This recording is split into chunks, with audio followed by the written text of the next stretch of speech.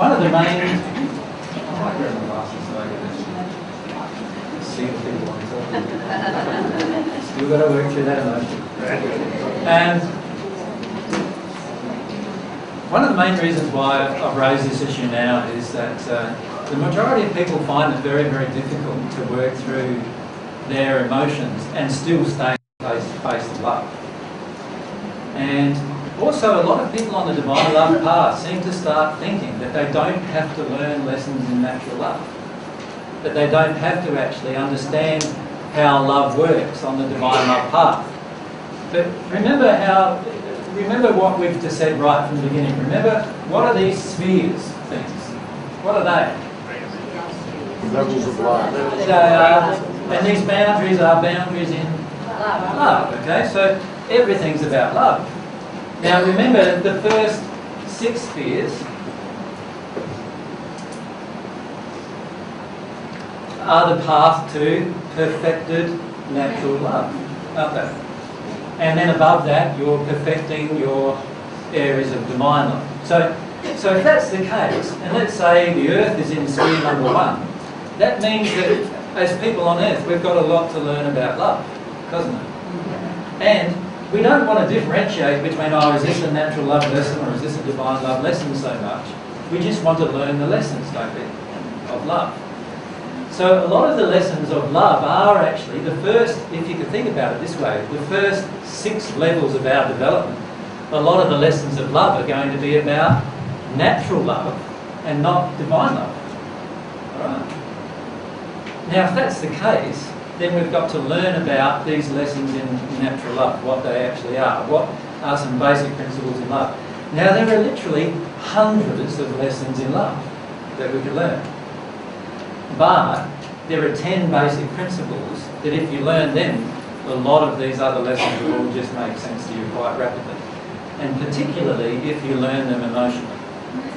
Right? So you can see in the introduction that I've pointed out that you could choose to learn all of these lessons that I'm going to present to you over the coming day and a bit. You can choose to learn them all here. And you can choose to put them all into practice by actually thinking about it, working through the issue with thoughts, working out how you're going to do that better, and actually putting that into practice. You could choose to do it that way if you want. Now, my suggestion is to not do that. My suggestion is to do it the divine love way. The divine love way is firstly pray to God about this emotion that causes you to not understand this particular principle. So let's say we've raised many times with you the issue of meat, eating meat, right? Now, remember, at every single time I've said, don't stop eating meat if that's not what you feel like doing. So if you still feel like eating meat, continue to eat meat. But you'll never be at one with God that way. I've also said that, haven't I? Mm. Right? And I'm speaking the truth, you won't. Now, the reason why is because you're breaking a law of natural love. So if I can go down the track then of saying, all right, if eating meat's breaking the law of natural love, what I'll do is I'll stop eating meat. So I'm not breaking the law anymore. Now, that is true. You can actually stop eating meat and not break that law anymore. But that doesn't change the emotion inside of you that wants meat in here, that wants meat in your tummy. Right? Well, eventually it might, after many, many years, but we want to make changes quite rapidly, don't we? We really want to make changes. If we're going to make a change, why not make it today and not take a year to do it? It'd be great to do it today. So with the change of eating meat, what we're suggesting is that you need to feel an emotion that's in you as to why you want meat in your body. There's an emotion in there. And there's also an opposing emotion, an emotion of error about you know, and there might be many hundreds, in fact, of beliefs that you may have now inside of yourself, fears that you might have as to why you're eating it. For instance, uh, my mother has a very big fear about me not eating meat, which is interesting. She's got a fear about me for a start, but so she's got a fear about me not eating meat. The reason why she feels that I will get, you know, my system will get all depleted, and we're not getting enough protein, and my muscles will waste away, and you know, before you know it, I'm going to be bedridden and hospitalised in her mind, right? Now, her fear drives her to try to badger me to eat meat. Now, how many of you have had that? And some of you may even be feeling that yourself, right? Inside of yourself, that if I give away that, my health is just going to degrade. And some of you have even given away meat in the past, had your health degrade, and then said, oh, we must need meat. Some of you even done that, right? And yet, the true issue is always the soul-based issue. And that's the thing we want to emphasize with all of these lessons. So you notice there's the natural love ways. There's two ways you can deal with this information. One way is to do it the natural love way. And the natural love way is dealing with it here, changing or transforming your beliefs or changing or translating your belief systems. And that may actually shift some emotions. It's very true that it often does. But that's not the way I'm suggesting. The way I'm suggesting is connect to your soul work out the sole reason why you do or don't do something that's harmonious with love and let yourself clear away the error so that you can easily do it without thinking. We want to stop this process of having to be loving here, thinking ourselves loving. We want to actually start the process of actually being love at every instance without thinking about it at all. Isn't that what we want? Yes to actually be loved without even having to think about it. That would make the most sense, wouldn't it? So that's what we want to focus on. So you notice under the divine love way, under ways to deal with this information, I've said how to deal with it on the divine love way. You know me, I just and you don't understand. Interrupt. The uh, so the divine love way is pray about it, look at the causal emotion within you that creates the desire to do something disharmonious with love. Feel and experience that emotion to release it, and then allow or pray for the new truth to enter you from God. So God's truth to enter you about that issue. That's the process, if you like. And when you follow that process, you will automatically be loved without having to try to be loved. That's what the process you want to do. You don't want to have to try. You know, that's what every religion on earth is doing, isn't it? No. You have a long list of words and you try. I was just going to comment that even though under the divine love way it looks like you've got more work to do because there's more points, you, you've actually got God on your side, so it makes things going quicker. Yeah. And it's, and it's really important to understand that the natural love way, which is this intellectual way of changing, is actually the longest way. It actually takes the longest time. And we're often fooled into being the shortest. Like many of you have gone to different therapies and situations thinking, here's an easier way to deal with your emotions. And 10 years later, after you've tried that for 10 years, come away feeling, have I even dealt with the emotion? Right? But you were told at the start, this is an easier way. Now, I've seen many, many people do that in the last few years, where they've left the path of dealing, you know, God's way, which is the way you were taught, right? It was a way inbuilt in your soul, and the way you used when you were one years old. That's God's way. That's God's way of dealing with your emotions. And many of us have gotten so far away from God's way of dealing with our emotions that we have fooled ourselves into believing we're dealing with emotions when the causal emotions remain.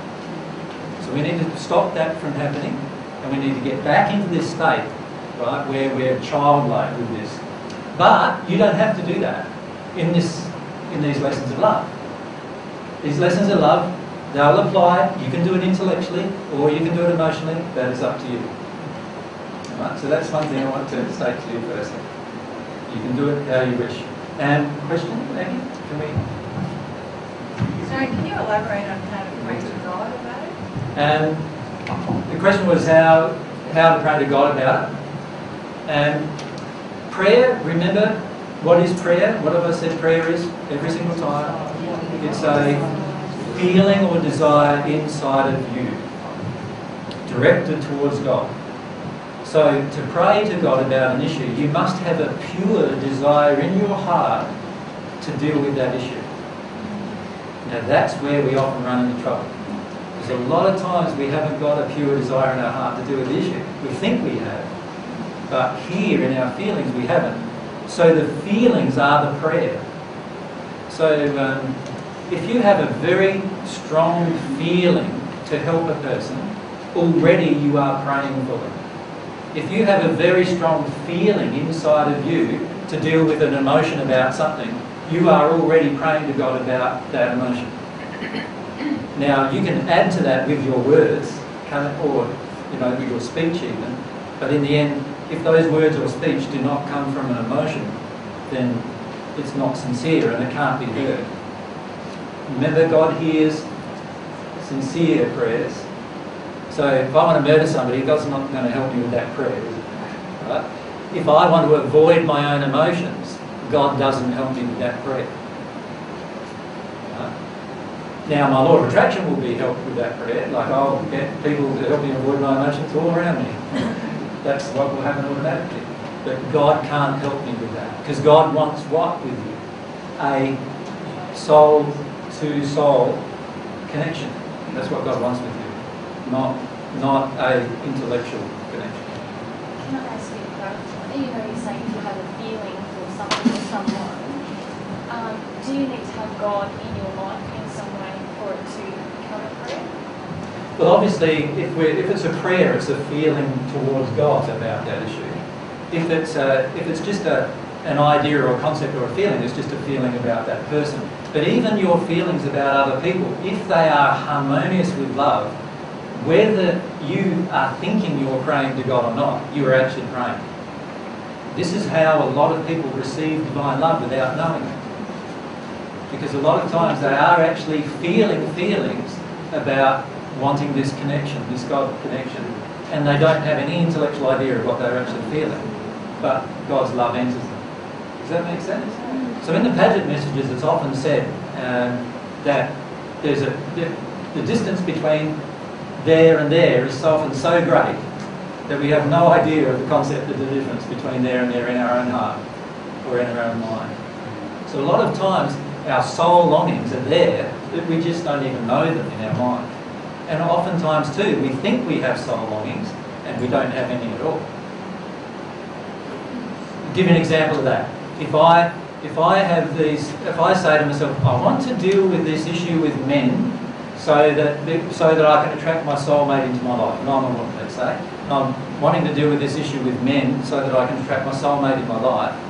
But every time the law of attraction operates, and with a man, I get angry with him. Am I wanting to deal with my issue with men? No. Anger itself is an indication I don't want to deal with it. So am I being truthful with myself? No. If I'm not being truthful with myself, am I going to ever be truthful with God? No. Now God knows the truth. But that doesn't help me there because I'm not accepting that truth. You follow me? So again it gets back to soul desire. Uh, Gloria, do you want to speak loudly? Yeah, I found God to be an issue too. God to be an issue? Yeah, I found I, I got angry at God um, quite a lot of times Yeah. um, because things weren't being answered and um, I felt there was just expectations not being met on my part. So uh, one time... Can, I- can I just stop you there for a moment though? You know how you said you felt things weren't being answered? Actually, God is answering you all the time. Even when he's even when it sounds like silence. Right? Because what is he saying? Oh, no. See, often what we want is we want God to say yes all the time, right? But but if we're going to learn God's truth, there's going to be times when we, and a lot of times obviously, when we are totally in disharmony with God's truth. And under those circumstances, He's going to be saying, no. I found um, when I was truthful uh, and spoke up and said, You're not there, I'm angry at you, I had this huge experience for an hour after like a, like a real loving feeling. And I was Yes. like amazed. It's like, holy, I truth, that angry at him, Yeah? and he, and he loved me. Exactly. Why is that? Because you were in that mode, you were in truth now. And what does God connect to? What, what is the connection between me and God? It's the spirit of truth. And so that's what. So if I'm really angry with God in my heart, and I'm saying to God, please love me, please, don't-" and I'm really what I should be saying to God, I'm totally, you know, peed off with you, and I'm, you know, and I can yell and scream at you, and it always reminds me of that uh, the movie Forrest Gump, where, where Lieutenant Dan is on the top of the mast, screaming and yelling at God in the uh, hurricane, or what it was. Um, because at that moment he's speaking the truth, and it's a transformational thing to do that, to speak the truth in those situations. Does that make sense? So God wants you to speak truth with God, but that means you're going to have to come to terms with that truth. So a lot of times we want to believe, in fact, that oh, I want things all lovey-dovey with God, but in reality, I really hate God's guts. Right? To put it bluntly, like we have all these terrible feelings about God in our heart, right? We need to acknowledge the truth of that, and ironically, when we acknowledge the truth of that, that's when God can make a connection with us. So that's something to bear in mind too. Jen? Um, I have a profound difficulty with love and trust, and sometimes I feel like my prayers don't get home. And um, my question is, is, is it possible for spirits to masquerade and give you an answer?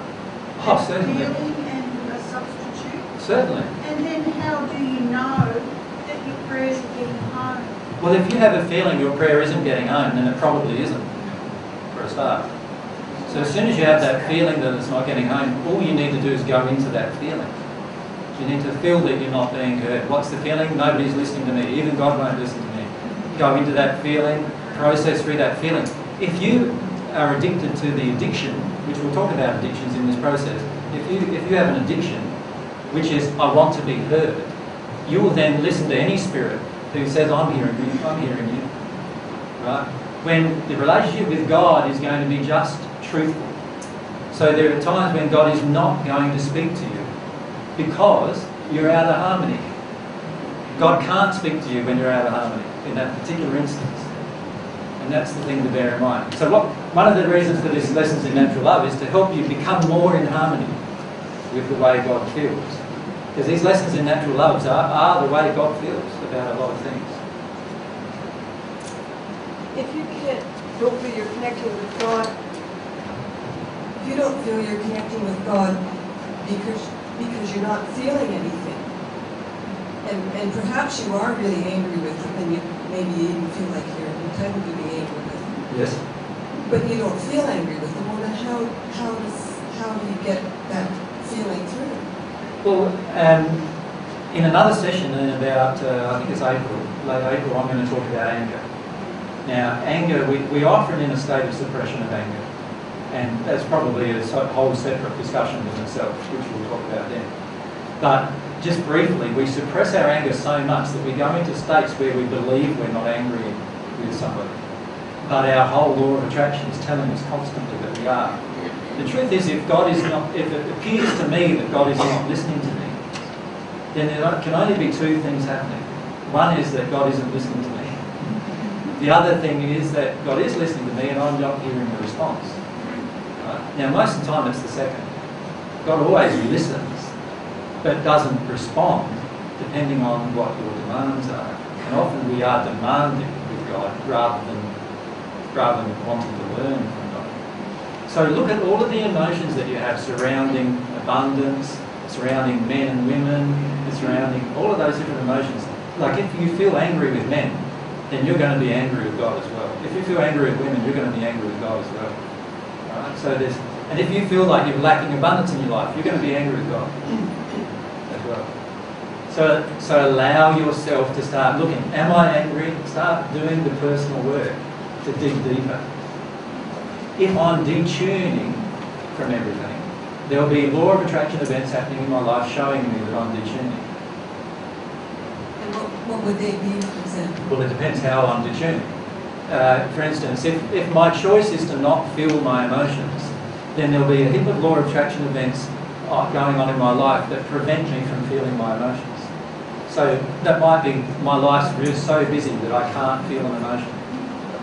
Now, if that's happening to me, and I think that's happening to you, um, your life's so busy that you can't let yourself feel, you can't feel an emotion, then you are choosing that.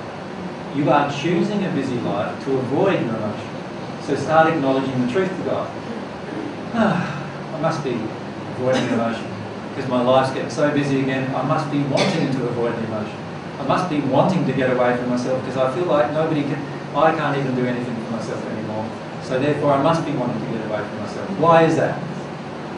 And ask yourself those kind of questions. Allow yourself to start seeing. And this is where your mind is very handy.